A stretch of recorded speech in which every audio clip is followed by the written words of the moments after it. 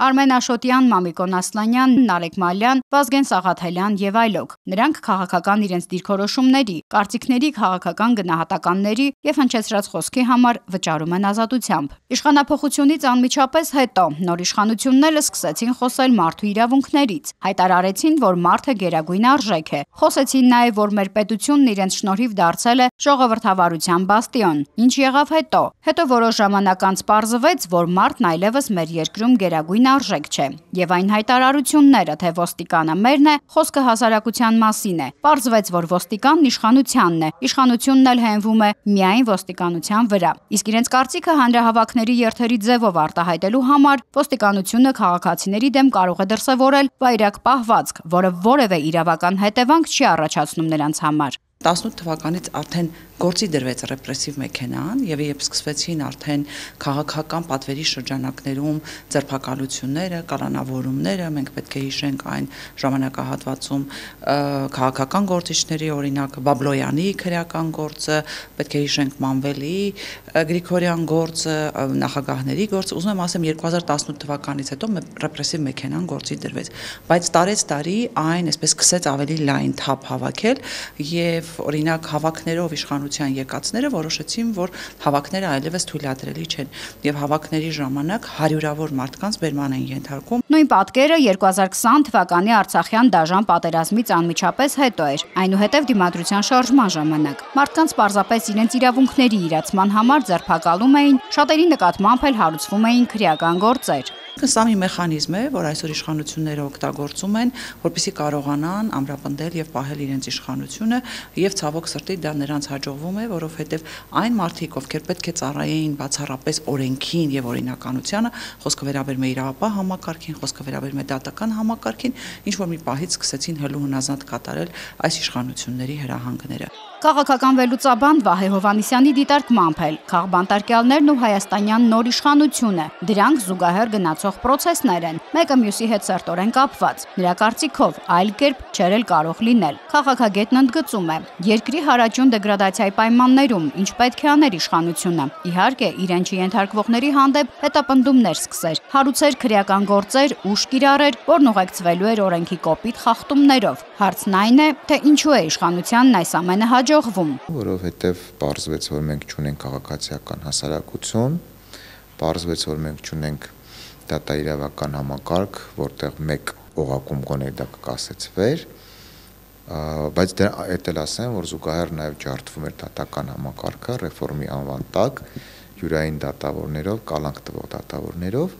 եւ արդյունքում մենք անընդհատ ունենք բանտերում ընկերներ։ Իսկ այդ ընկերները նաև ժողովրդի ընկերներն են, ընկերներ, որոնց պայքարը հայ ինքնության ու հայոց պետականության համար էր։ Ստացվում է իշխանություններին չենթարկվելու, նրանց հակահայկական որոշումներին ու դրանց իրականացմանը դեմ գնալու համար են ձերբակալվել, այնուհետև կալանավորվել քաղաքական ընդդիմախոսները։ Իշխանությունն այսքանով կանգ չի առել ու չի էլ մոռացել, որ իրեն հակադարձողների, չենթարկվողների նկատմամբ պետք է շարունակի հաշվեհարդարը։ Ժողովուրդն է մոռացել ու մտածել, դե մի քանի ընդդիմադիր էին երևի Գյումրի կարգն է այդպիսին, այդպես էլ եղավ, բայց օրերս երթուղայինում քպական падգամավորին սեփական կարծիքն ու դիրքորոշումը արտահայտած հասարակ մի քաղաքացու նկատմամբ տեղի ունեցավ զարհուրելին։ Սամվել Վարդանյանի դեպքում մենք տեսանք բոլորովին այլ իրականություն։ Այսինքն արդեն խոսքը ոչ միայն իրավական բեսպրեդելի մասին էր խոսքում, արդեն խոսքը գնում է բանդիտական Հայաստանի մասին։ Մենք իսկապես այսօր ապրում ենք քրեական աշխարհի ճիշտ հիշեցնող երկրում, որտեղ պետության, ուրեմն երաշխիքի տակ գտնվող անձը, որովհետև Սամվել Վարդանյանը այդ պահին ձերբակալված էր եւ պետությունը իր իրապահ մարմինների միջոցով պետք է երաշխավորի նրա անվտանգությունը, որովհետև ըստ էության ձերբակալված անձը ինքը իր անվտանգությունը ապահովելու հնարավորություն չունի, բայց այս դեպքում պետության երաշխիքի տակ գտնվող անձին, ուրեմն ինչ որ մի խումբ դիմակավորված անձին, որոնք բանդիտներ են, ուրիշ ոչ մի կերպ չես կարող կոչել, մեքենայից ոստիկանների թողտվությամբ դուրս են հանում եւ ենթարկում են բռնության եւ ոտնահարում են նրա արժանապատվությունը։ Վերջի էպիզոդը, որ եղավ տղայի հետ Սամվելի հետ Վարդանյան, ինքը նոր փուլ է եւ ես կուզեմ, որ մենք բոլորս մի հատ սկաստանանք, որտեղ դա նախավ վերջին փուլն է քաղաքական սպանություններից առաջ։ Այդ այդ ռեժիմները, որոնք սովորում են արյանը եւ իրանց ձեռքը բռնող չկա, վերջում դեգրադացում են այն աստիճանի, որ քաղաքական սպանությունների են գնում։ Այն ինչ որ կատարվեց այդ մարդու հետ, այսինքն կատարվեց հետեւյալը պետական պաշտպանության տակ գտնվող անձի հանդեպ պետությունը ահաբեկչություն է իրականացնում։ Սա նշանակում է պետություն գոյություն ունի պետությունը այս գոնե այս մի հատվածում արդեն դեգրադացել է այն աստիճանի, որ ինքը գոյություն ունի, խաղի կանոններ չկա, օրենքներ չկան, ինստիտուտներ չկան, որ ձեռքը կբռնի հրաման տվողի հրաման իրականացնողի եւ այլն։ Կան բազմաթիվ քաղաքական հետապնդումների ենթարկված կալանավորված անձինք, այս պահին էլ տասնյակից ավելի անձինք կալանավորված են եւ իրենց պատիժը կրում են հանուն հայրենիք ունենալու իրենց անհաշտ պայքարի համար խոսքը վերաբերում է ոչ միայն քաղաքական այլակարծություն ունեցող մարդկանց, այս կարմիր գիծը ենթադրում է, որ վաղ այդ բանդիտները մուտք են գործելու նրանց տուն, նրանց անձնական կյանք։ Հակառակ այս ամենին իշխանության բարձրագույն ներկայացուցիչներին հաջողվում է երկրի թիվ 1 ամբիոնից ընդդիմադիրների հետ ժամանակ առ ժամանակ խոսել սպառնալիքի ու բռնության լեզվով, բայց դրա համար նրանցից որևէ մեկի նկատմամբ ոչ կարգապահական տուժ, ոչ էլ իրավական գնահատական չի տրվում։ Քաղաքական հողի վրա թշնամանք անհանդուրժողություն քարոզելու համար քրեական գործեր չեն հարուցվում։ Տեսնել ենք մարդու իրավունքների պաշտպանության հանձնաժողովում, ինչպես է քպեական падգամավորը, օրինակ, սպառնում ականջները կտրել։ Մենք տեսել ենք ինչպես է վարչապետը նիստի ժամանակ պահանջում մեղադրական դատավճիռներ, այսինքն այստեղ բռնության եւ միևնույն ժամանակ իրապահ համակարգը իրենց ուղակի կամ անուղակի կերպով ենթարկեցնելու կոչեր բազմիցս են հնչել եւ ասեմ ավելին, երբ բռնության կոչերը հնչում են իշխանության մերձավորների կողմից դրանք որևէ արձագանք չեն ստանում, բայց իրենք ունեն քրեական օրենսգրքով ամրագրված երկու շատ ավելի այսպես ձեռնտու եւ իրենց ուրեմն մեկնաբանությամբ հոդվածներ, խոսքը վերաբերում է խուլիգանությանը եւ ինչպես նաեւ ատելություն հրահրելուն եւ այս հոդվածները իրենք շատ հմտորեն կարողանում են օգտագործել անդիմախոսների եւ այլակարգությամբ հանդես եկողների հանդեպ։ Հետաքրքիրն այն է, թե այս ամենի վրա ինչու են աչք փակում ժողովրդավարության ջատագովներ Արևմուտքն ու Միացյալ Նահանգները։ Բազմազան ու բազմապիսի իրավապաշտպան կազմակերպությունները, թե Արևմուտքում, թե Հայաստանում։ Չէ՞ որ նրանք ուշիշով հետևում են այստեղ տեղի ունեցող իրավիճակին։ Նախկին իշխանությունների օրոք այսօրվա քպականների գործելակերպի մի աննշան դրսևորման դեպքում այդ երկրների դեսպանները շտապում էին դատապարտել իշխանության քայլերը։ Իսկ դրամաշնորային միջոցներով ժողովրդավարությունը պաշտպանող կազմակերպությունները հանդես էին գալիս դատապարտող հայտարարություններով ու նամակներով, ուղղված տարբեր միջազգային կառույցների։ Արևմուտքը աչքափակելու այնքան, որքան ինքը այստեղ ունի շահեր եւ Հայաստանի իշխանությունների այլ ոլորտներում վարկագիծ եւ շահերի սպասարկմանն է ինքը աչքա փակելու։ Երկրորդ ավելի խորքային պատասխանն այն է, որ արևմուտքը վերջին 5-10 տարում ցույց է տալիս շատ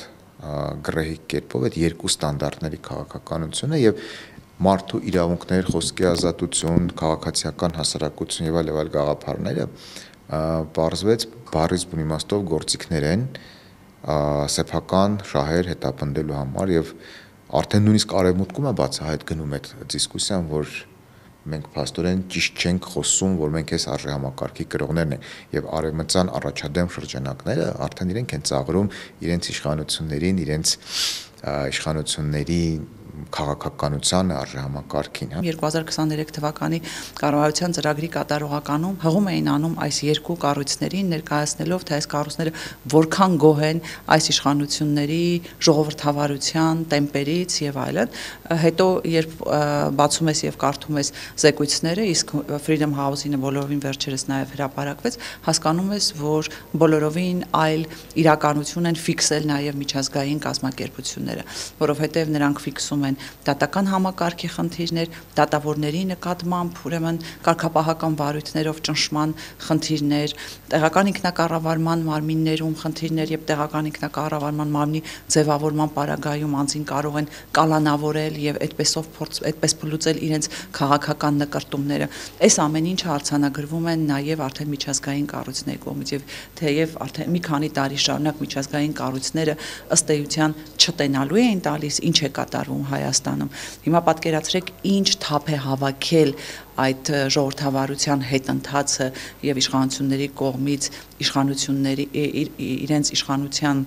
սահմանազանցումը, որ միջազգային կառույցները եւս ֆիքսում են խնդիրները, որոնք արկա են Հայաստանում։ Փորձագետների կարծիքով շատ պետություններ են այս փուլով անցել։ Միակ լուծումը չկոտրվելն է եւ գտնել պայքարի մի նոր ուժ։ Նկատենք, Արմեն Աշոտյանի համար խորհրդարանի երկու դիմադիր խմբակցություն նոր պայքարի սկիզբ դրեց։ Նրանք ամբողջ կազմով դատավորին երաշխավորագիր ներկայացրեցին, միջնորդելով փոխել Աշոտյանի խափանման միջոցը։ Սակայն այսօրվա իշխանության օրոք դատավոր աշխատող Վահե Դոլմազյանը մերժ շարժեց 30 օրենսդիրի կողմից ստորագրված միջնորդությունը։ Սա մի բան է նշանակում։ Փաստորեն երկրում հաստատվում է մեկ անձի, մեկ կուսակցության իշխանություն եւ հարցականի տակ է դրվում մեր երկրի քաղաքական համակարգը բալավ ել ում երաշխավորությունը քեզ պիտի, հա, մնում էր վեհապարի, չգիտեմ, եթե կմերժան, վստահաբար կմերժան